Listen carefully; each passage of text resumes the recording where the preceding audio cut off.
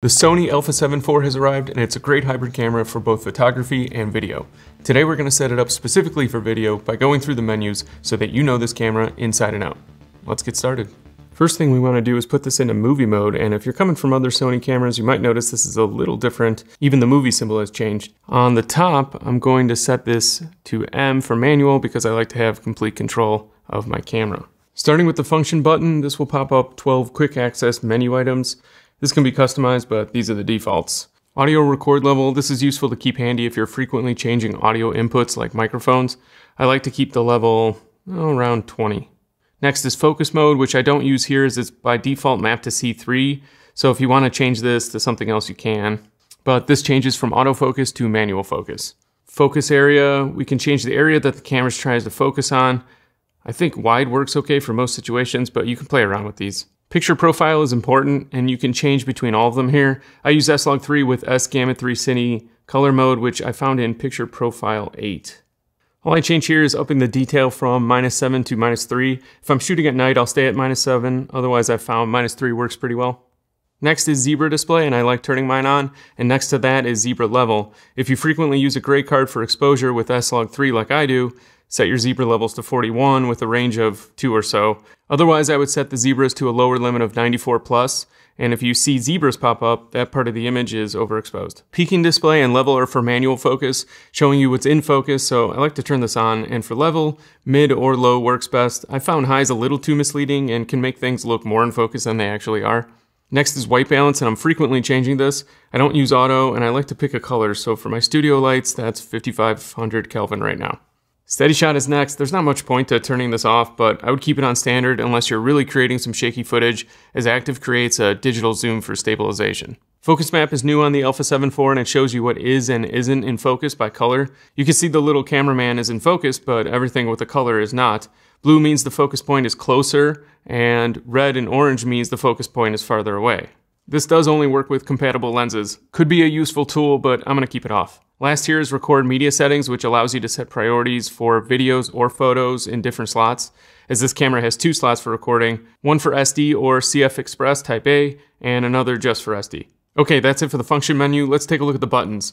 New on this camera is a blank wheel that's normally reserved for exposure compensation. By default, it's still set to that, but it can be changed to something else, which we'll do later. C1 by default will change white balance, which is useful, and C2 will change the focus area. C3 will change from auto to manual focus. Let's jump into the menus now, starting with image quality. File format, this is organized from most difficult to easiest to edit. I use XAVC S-I 4K for the highest quality image and easiest editing on my machine. The 4K only shoots up to 60 FPS on this camera, so if you want that 120 frames per second super slow motion, you'll have to choose one of the HD options instead. I should also point out that for most of the menu items, you can hit the trash bin and it will explain the settings, so that's pretty useful. Selects the movie file format. There you go. Under movie settings, I'm gonna set the frame record rate to 24 and not 30 because I'm not a monster. The record settings is grayed out because there's only one option based on the file format I chose, but it's a high quality 422 10-bit. Coming out of the menu for a quick second, I'm going to set my shutter speed to double my frame rate or close enough to 1 over 50 in this case. When I save my camera settings later, I want to make sure my frame rate and shutter speed are all in sync and ready to go. Back to the menu, the S&Q or slow and quick settings, I want to match the record frame rate to 24, and under frame rate, because I'm in 4K, the highest I can choose is 60 frames per second. Here you can set your proxies, which I don't use. Next is APS-C Super 35 shooting mode. Because this camera has an oversampled 7K sensor, you can use this in 4K, unlike the Sony a7S III, so that can be useful for zooming in the image without having a zoom lens. New to the Alpha 7 IV is this breathing compensation, which gets rid of that weird breathing that occurs with some lenses by slightly cropping in. Okay, in media, we can format our memory card. In file settings, I usually change this file name format to title plus date. So each file can have a different name and it's pretty well organized. And then under title name settings, I usually create a custom name that tells me what camera this is. So for this case, BG-A74. Okay, on to shooting mode. Camera set memory is very important. This is where you can utilize the 1, 2, 3 dials on top of the camera by saving your settings. On my Sony a7S III, I use each one of these for different frame rates, one for 24, one for 60, and one for 120 frames per second. There's also four more slots, M1, 2, 3, and 4, that can be saved to your memory card. When we're done with the setup, I'm gonna come back here and save my camera settings. USB streaming is probably my favorite new feature on this camera. All you have to do is take the included USB cable and plug it into your computer and run any webcam program and you have a webcam. Under resolution and frame rate, you can pick from a few options, but I'm going to stick with HD 30p. Enabling movie recording will eat up more battery, but this allows you to record your streaming internally onto a memory card. So that's pretty cool. Next up is silent mode settings. I like my camera to be silent and I really dislike that record beeping noise, so I'm going to turn this on. In audio recording, we covered the audio record level in the function menu, but audio out timing is useful because there's virtually no lag to recording audio versus video, and the audio can sometimes appear ahead of the video. So if this annoys you, you can change to lip sync so that everything matches up. Does not annoy me, so I'm going to leave mine. Under wind noise reduction, there's an auto that has been added to the camera. This will process your auto to reduce noise for the internal microphone only. I like seeing the audio level display, so I'm leaving that on too. Next up is a section for timecode, which I don't use often, but if you do, here it is. Zoom. You can change the zoom range from optical only to clear image or digital. Digital produces some noticeable loss in quality, but clear image zoom works pretty good, and it allows you a 1.5x zoom on your camera. I would suggest if you plan on using it, making the zoom a quick access button, but I'm gonna leave mine on optical only. Under the shooting display, I like turning on the grid line display for framing. I use this first one for the rule of thirds, but feel free to play around with the other ones. And maybe the most important setting to enable for me is this emphasize record display, which puts this fancy red border around the image while you're recording. Really useful when you're standing far away from the camera and you want to make sure it's recording. Marker displays are a more aggressive version of the grid line display. They're pretty cool, so it comes down to personal preference. You can really get pretty crazy with these.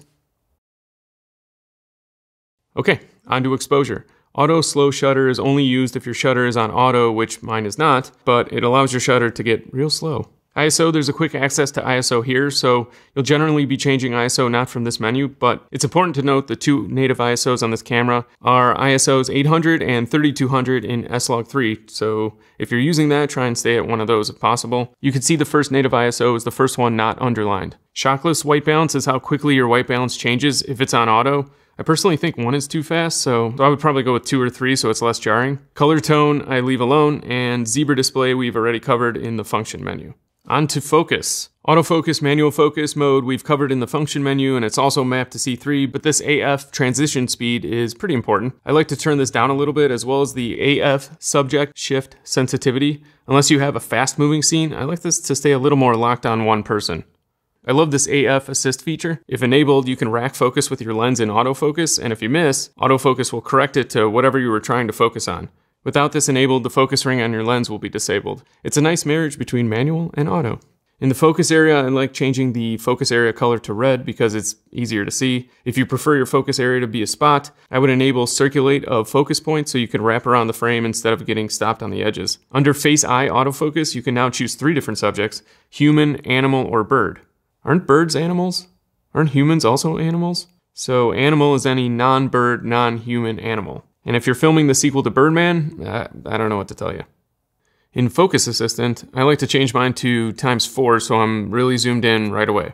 Okay, I'm gonna skip to setup. In Finder Monitor, I like to disable the viewfinder because I don't really use it and I don't want it to accidentally be activated by my hand, so I'll choose Monitor.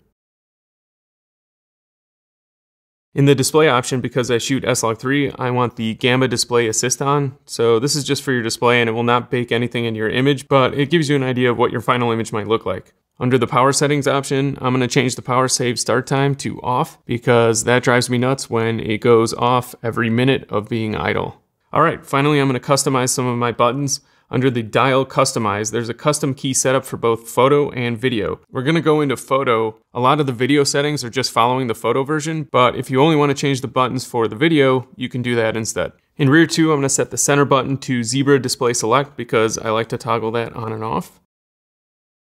For the down button, I'm gonna set the toggle for the full frame Super 35 crop as I like to bounce back and forth between those.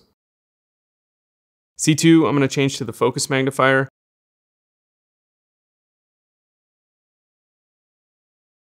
Lastly, I'm going to set the dial wheel number 3 to ISO. It's nice to be able to scroll through the ISOs, and you can also lock it in. And the rest for now, I'm going to keep the same. To save all these settings, go back to the shooting mode and set camera memory. I'm going to save this under number 1. If you remember, we set the frame rate to 24 frames per second and the shutter speed to 1 over 50. I like to be able to quickly change frame rates, so after saving this, Now I'm gonna go back to movie settings and change the frame rate to 60 frames per second. Then I'll pop out of the menu and set the shutter speed to 1 over 125. Now I'll head back into this set camera memory and choose number 2. So now to switch between 24 frames per second and 60 frames per second, all I have to do is change the dial on top. There's a third one for whatever else you might need. Make sure to also save all these settings to a memory card using Reset Save Settings. Otherwise something will happen and the camera will get reset and then this whole thing was just a giant waste of time. Okay, that's it. Let me know in the comments below if this was helpful, and if it was, maybe check this one out next.